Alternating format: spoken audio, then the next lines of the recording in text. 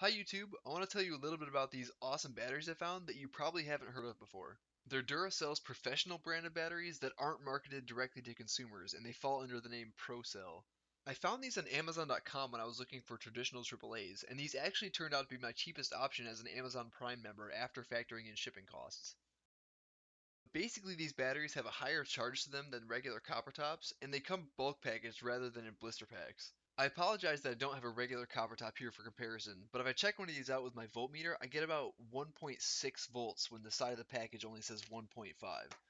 In addition to AAA, you can get these in AA, 9 volt, and C and D sizes. Anyway, I'll probably be sticking with these from now on and thought I'd share what I found. Thanks for watching.